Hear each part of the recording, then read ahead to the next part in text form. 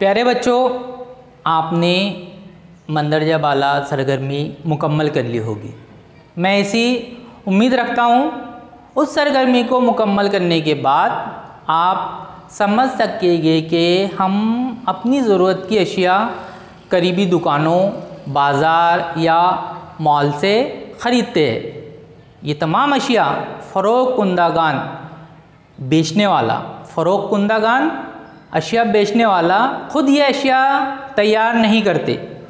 वो उन्हें कई और से लाते हैं।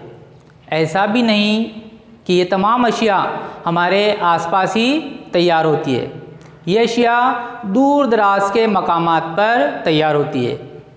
थोक बाज़ार, होलसेल मार्केट, कारखाने ज़रूरी पैदावार की बाज़ार कमेटी जिसे हम कृषि उत्पन्न बाज़ार समिति के नाम से भी जानते हैं। उन मकाम से यह अशिया सबसे पहले खुर्दा फरोश, छोटे व्यापारी तक आती है और फिर हम तक पहुँचती है।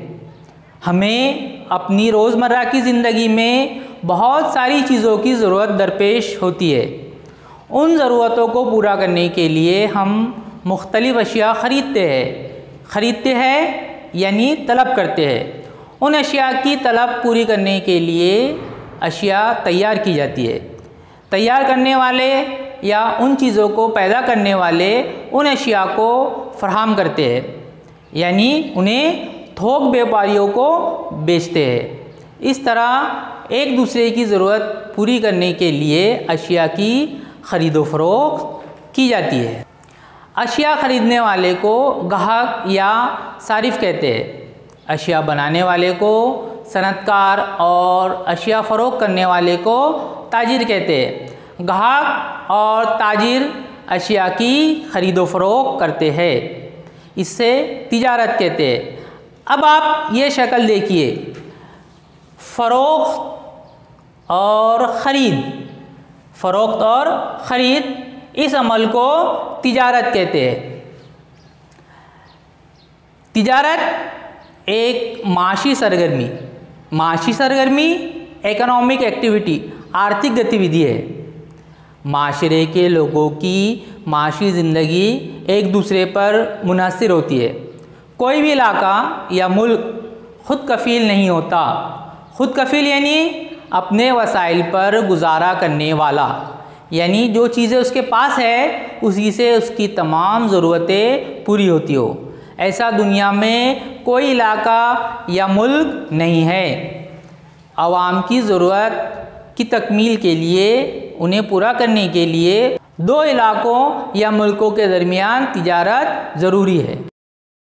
आप जानते हैं कि हर इलाके की जोग्राफी हालत मुख्तलिफ़ होती है, जिसकी वजह से हर इलाके या मुल्क में मुख्तलिफ़ अशिया तैयार होती है। जिस जगह किसी शय की किल्लत होती है, यानी कमी होती है, वहाँ उसकी तलब होती है, ज़रूरत होती है और जिस जगह किसी शय की पैदावार इजाफी होती है, यानी ज़्यादा होती है, उस जगह से वो शय दीगर जगहों को फ्राहम की जाती है, पहुँचाई जाती है।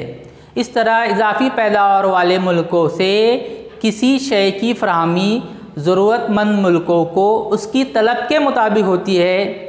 जम्मू कश्मीर में पैदा होने वाला सेब तलब रखने वाली हमारे मुल्क की दीगर रियासतों में भेजा जाता है।